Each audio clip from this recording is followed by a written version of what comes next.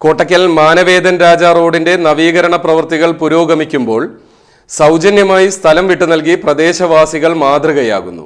മൂന്ന് കോടി രൂപ ചിലവിലാണ് നവീകരണ പ്രവൃത്തികൾ നടക്കുന്നത്.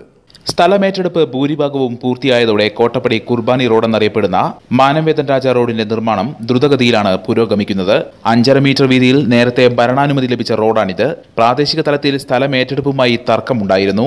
ഇതെല്ലാം പരിഹരിച്ചാണ് നവീകരണ പ്രവൃത്തികൾ. റോഡിനായി തൊണ്ണൂറ് ശതമാനം പേരും ഭൂമി വിട്ടുകൊടുക്കുകയായിരുന്നു. മൂന്ന് കോടി രൂപ ചിലവഴിച്ചാണ് വീതിയേറിയ റോഡ് നിർമ്മിക്കുന്നത്. രണ്ട് പോയിന്റ് ഒന്ന് കിലോമീറ്റർ നീളമാണ് ദൂരം. കോട്ടക്കൽ നഗരം ഒഴിവാക്കി മലപ്പുറം ഭാഗത്തുനിന്ന് കോട്ടപ്പടി വഴി നേരിട്ട് ദേശീയപാതയിലേക്ക് പ്രവേശിക്കാൻ കഴിയുന്ന റോഡാണിത്. മണ്ണുമാന്തി യന്ത്രം ഉപയോഗിച്ച് ഓവുചാലുകൾ കിടങ്ങുകൾ എന്നിവയുടെ പ്രവർത്തനങ്ങളാണ് ഇപ്പോൾ നടക്കുന്നത്. തോക്കാമ്പാറയിൽ ഒരു ഭാഗത്ത് പ്രവർത്തനങ്ങൾ പൂർത്തിയായി കഴിഞ്ഞു. നിലവിൽ വീതി കൂടിയ ഭാഗമാണിത്.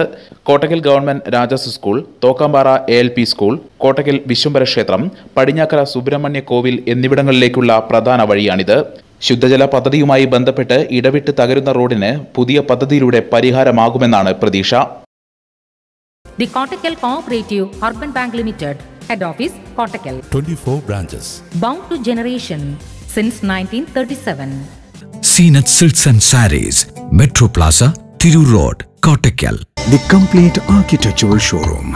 Edapile Floorings. Cortical, Koppam.